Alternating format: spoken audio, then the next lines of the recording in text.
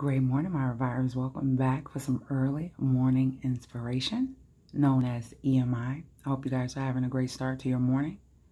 Family. My family has always given me a place to be, a place to be loved, and a place to love. By Billy Dee Williams. For years, we have listened to many well about the plight of the African American family.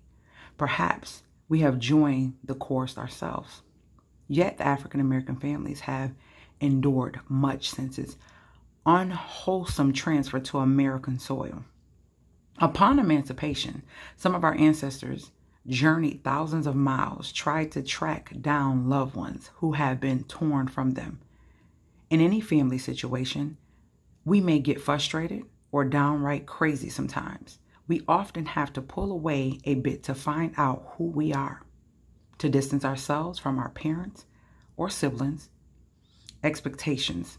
Yet the family remains, for most of us, our most significant means of support and sustenance.